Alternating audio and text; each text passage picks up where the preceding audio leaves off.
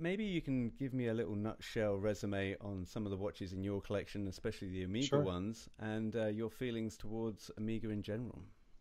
Yeah, absolutely. And by the way, I think Jonathan did a, a, great job. Um, he supported the Rolex brand. I love Rolex. I have a lot of heart for it. Um, I, I have one that I, I love that is now been uh, stolen. Nah, that's too harsh of a word. Adopted by Danielle.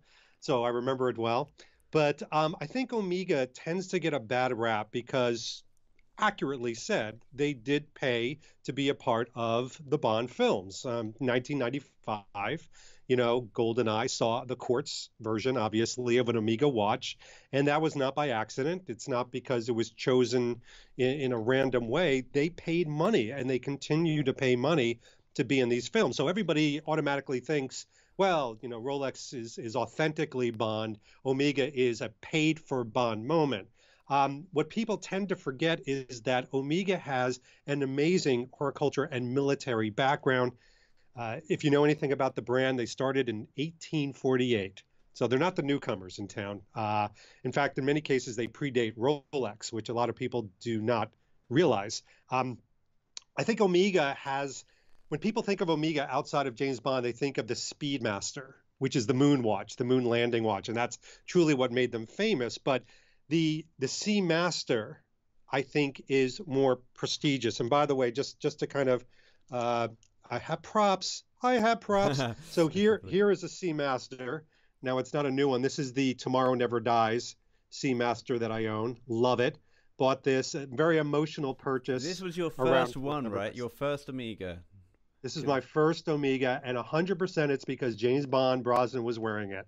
No other reason. I didn't know the brand at all. But the Seamaster was a big watch that obviously the producers and the costume designer and Omega wanted to highlight. But British military started using Omega around 1917. And everybody aligns Omega with British military, even that far back. But people don't realize that the US Army actually used Omega watches in 1918.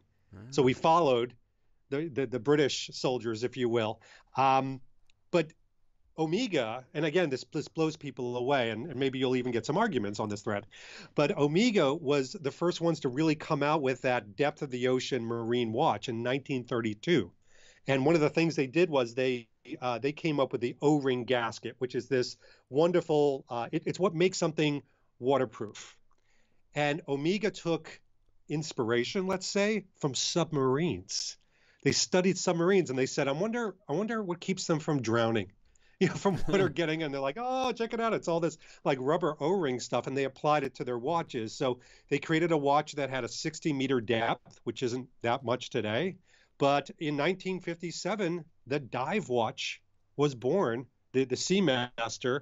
Um, as a matter of fact, um, the Seamaster 300, here's another prop.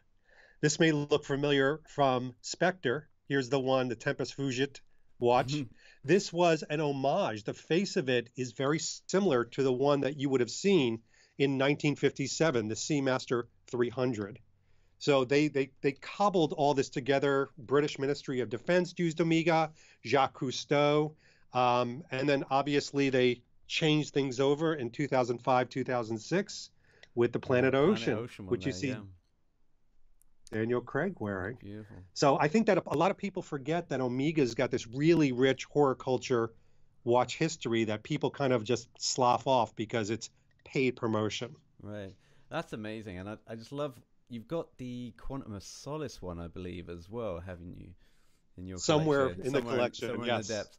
And and and skipping through a couple of your videos earlier on before I jumped on the call the Spectre one that you showed there, you said that's uh, one that's very fond for you and a very it gets a lot of use. This is the one that you can pair with a tuxedo. Oh, that's fantastic, and also pitches as well when you're at work. Do you yeah. so do you have like some watches that are indexed for certain occasions, and you think, oh, I'm definitely going to be wearing this one tonight because I'm doing this? Yes. So I mean, you hit it on the nail. I think this is one that you can do a little bit more dressed up. Mm. You've got the NATO strap, so that kind of gives it a little bit more lightness to it and whimsy, as opposed to something very hub, heavy rubber. I mean, this is indicative of Daniel Craig, so I would wear this with a polo t-shirt. I wouldn't wear this with a tuxedo.